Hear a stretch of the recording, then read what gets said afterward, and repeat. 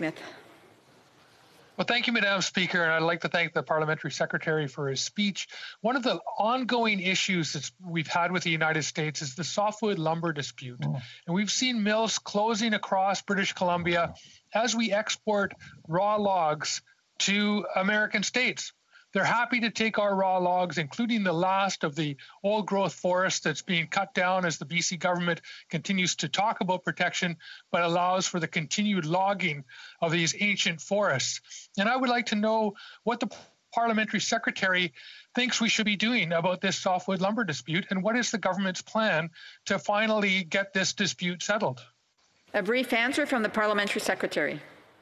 Thank you, Madam Speaker. And I really want to thank my colleague for that, great question. It's certainly, I'm from a small town. I'm the MP for Sudbury, which is a mining town, certainly, but I'm from a small town called, called Kapuskasing, where uh, my actually my father and my grandfather worked in the pulp and paper business um, back in the 20s and certainly in the 60s.